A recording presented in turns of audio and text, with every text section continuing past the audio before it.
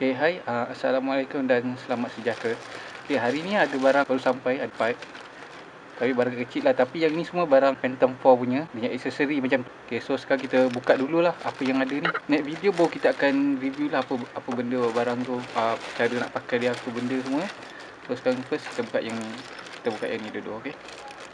So kita buka. Oh, oh Protect punya gimbal Phantom 4 ha, Macam tu lah Tapi yang ni Aluminiumnya besi Asal yang Dekat original yang dekat Phantom tu Dia plastik tau.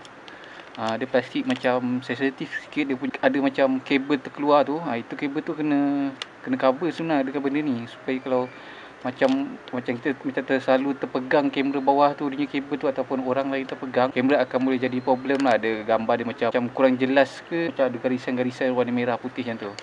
Okay, so ni kita tolak tepi dulu. Nanti kita review lain. Okay, lagi satu yang ni.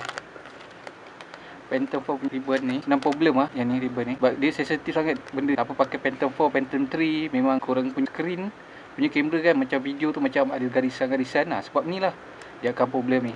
Memang sensitif benda ni. So aku buat spare lah.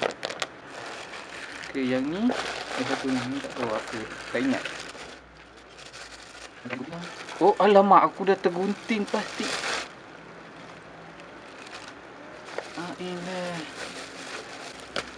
Aduh, aku dah tergunting sikit dah. Ni.